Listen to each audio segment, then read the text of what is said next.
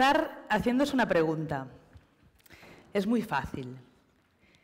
¿Quién creéis que tiene el cerebro más grande? ¿Un elefante o nosotros, el ser humano? Levantad la mano los que creéis que es el elefante el que tiene un cerebro más grande. A ver, intentaré o subir un poco la luz, así puedo... Poca gente. Levantad ahora la mano los que creáis que somos nosotros, los humanos, los que tenemos el cerebro más grande. Mayoría. Bien, si ponemos de lado el cerebro de un elefante y el cerebro de un ser humano, está claro que el elefante tiene un cerebro mucho más grande y mucho, pesado, mucho más pesado que el nuestro. Con el elefante y con el resto de mamíferos, los humanos compartimos el sistema límbico, un sistema muy primitivo de nuestro cerebro donde se esconden las emociones. El miedo, que nos hace huir de un peligro, la agresividad para defendernos si alguien nos ataca, o el instinto sexual que nos lleva a reproducirnos y preservar nuestra especie. Pero el elefante no es capaz de hacerse preguntas, ni de planificar lo que va a hacer mañana, ni tampoco de disfrutar de una obra de arte o de una canción. Nosotros, los humanos, hemos desarrollado una parte de nuestro cerebro, la parte más exterior, que se llama corteza prefrontal, que es donde se esconde la toma de decisiones, la planificación del futuro, las habilidades abstractas que nos hacen componer o disfrutar de una canción y todas aquellas habilidades cognitivas que nos hacen únicos como especie. No hay nada parecido al ser humano en toda la Tierra. Antes os preguntaba quién creíais que tenía el cerebro más grande y decía, el de elefante es el que lo tiene más grande, pero nosotros, los humanos, somos el animal con el cerebro más grande en relación a nuestro cuerpo. Aproximadamente nuestro cerebro pesa alrededor de un kilo y medio y en él hay 100.000 millones de neuronas. Lo comentaba Ruber, yo soy periodista, casualidades de la vida, acabé tratando temas de ciencia, de salud, y ya llevo unos años entrevistando neurocientíficos, yendo a congresos, leyendo investigaciones, para saber qué sabemos realmente sobre el cerebro. Y me pregunto, ¿qué es lo que ya sabemos?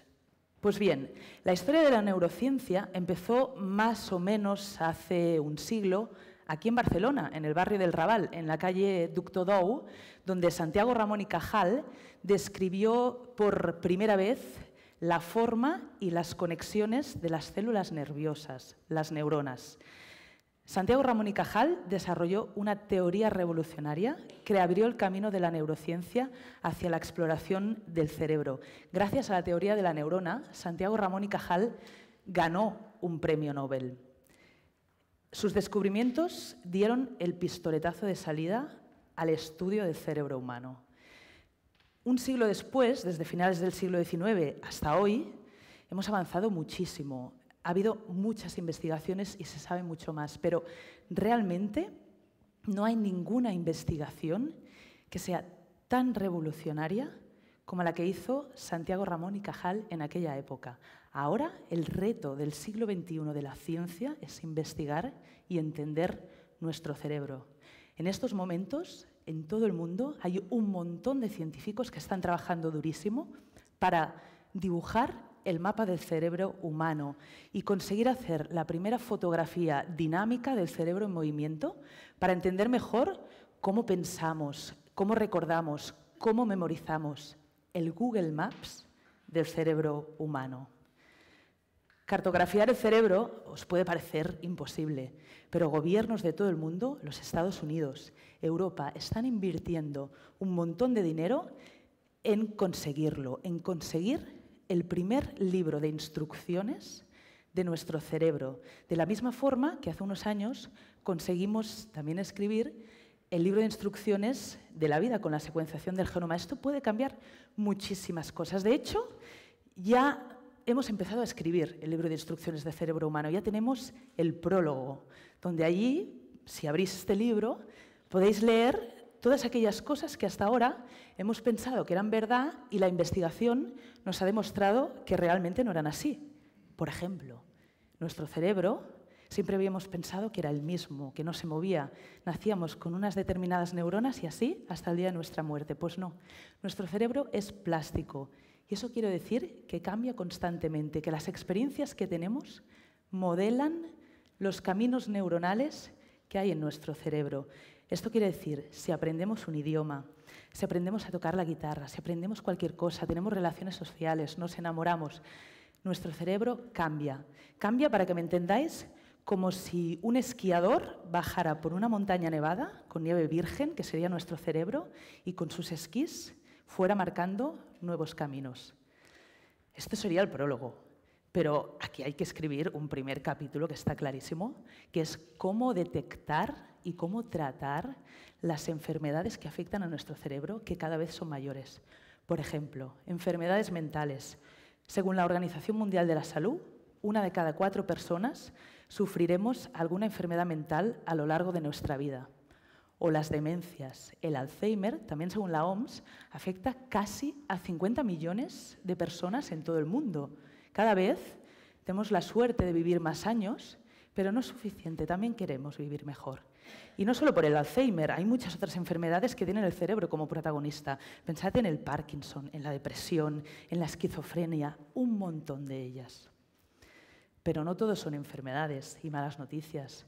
También tendría que haber un capítulo 2 donde se reivindicara el aforismo latino del mens sana incorpore sano y detectar, gracias a la investigación, cuáles son todas aquellas cosas que hacen que nuestro cerebro funcione mejor. Y ya se está viendo que si nos alimentamos correctamente, y aquí por suerte tenemos la dieta mediterránea, ah, practicamos ejercicio físico, tenemos unas buenas relaciones sociales, dormimos las horas que toca y dormimos bien, eh, técnicas de meditación, de mindfulness, todo esto ayuda a que nuestro cerebro funcione mejor y tengamos un envejecimiento más saludable. Capítulo 3. Porque claro, aquí nosotros utilizamos nuestro cerebro cada día, constantemente, no paramos, aunque no nos demos cuenta. Y nuestro cerebro también nos juega malas pasadas. Quien más, quien menos, todo el mundo tiene una fobia, o tenemos que tomar decisiones y lo pasamos fatal, hacemos listas de pros y contras. Bueno, pues si supiésemos cómo funciona el cerebro humano, yo creo que el capítulo 3 nos tendría que dar cuatro ítems de cómo ir por la vida y utilizar mejor nuestro cerebro. Y es que cuando conozcamos nuestro cerebro, de hecho nos estaremos conociendo por dentro por primera vez.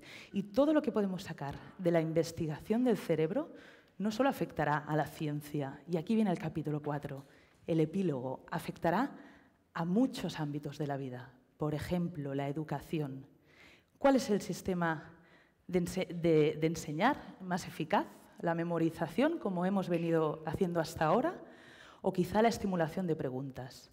El sistema legal, en un juicio, ¿Cómo podemos saber si la persona que estamos juzgando es culpable o es inocente? Si hubo premeditación o no, en sus actos.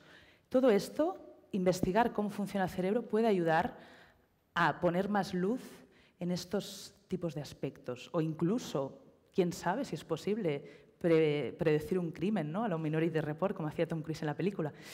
También el marketing, los publicistas tienen un trabajo dificilísimo, tienen que llamar la atención de nuestro cerebro cuando nuestro día a día está plagado de estímulos desde que salimos de casa por todas partes.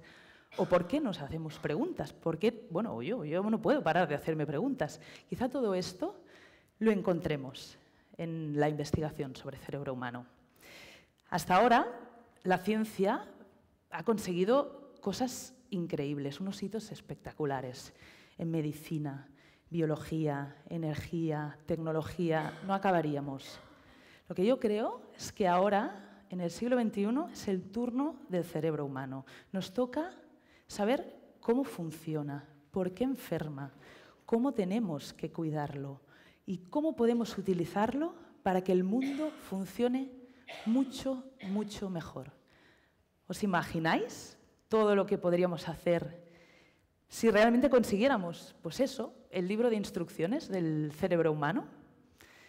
Yo lo he estado pensando y creo que sería un bestseller.